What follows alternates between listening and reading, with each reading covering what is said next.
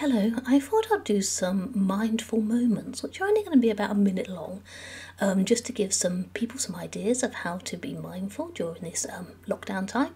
So I thought I'd just post a few here. So I'm going to start off um, about mindfulness and awareness.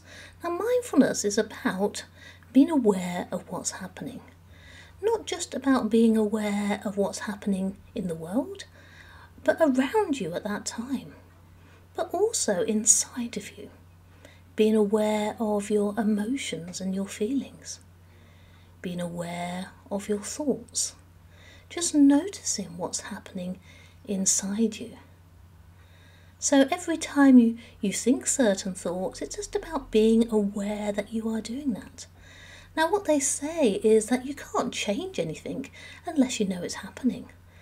So if you're aware of something, you have a opportunity if you want to to change it.